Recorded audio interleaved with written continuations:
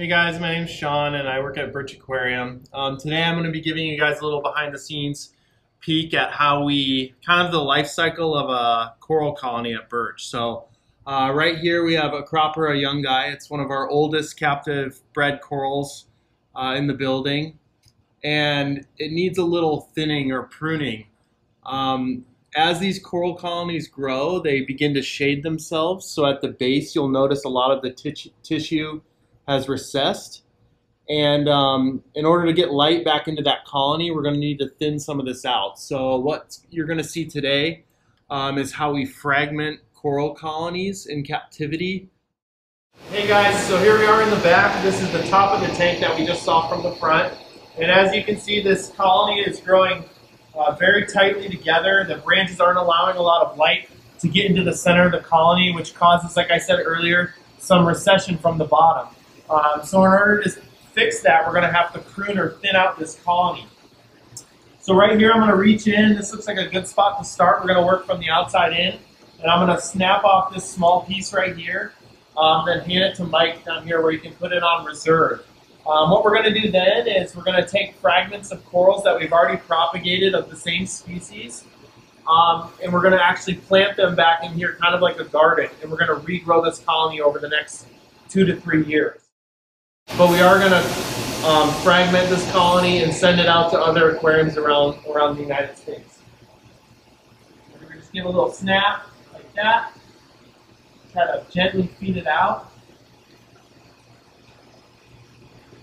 then here's a, as you guys can see, a large uh, young guy or a staghorn coral. Um, you can see where it gets the name staghorn coral from the from the shape of this colony. So it kind of looks like a, a deer antler. Pretty pretty beautiful, pretty amazing piece. I'm going to hand this over to Mike.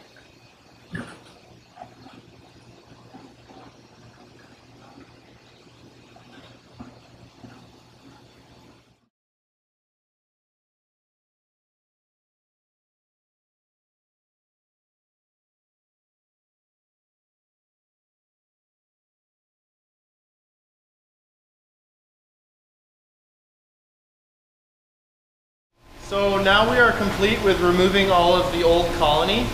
And as you guys can see, the tank on the top is empty and we have a new clean slate um, to plant some younger corals that we've propagated. So let's go over here and I'll show you guys some small corals that we've been growing for about six, six to eight months. So these are small colonies. Um, as you can see, they actually are glued onto a little concrete base. And this is what we're gonna plant into the, uh, into the tank, kind of like transplanting vegetables into the garden. So we're gonna get those in there and then they'll grow into a new, uh, what we call mother colony.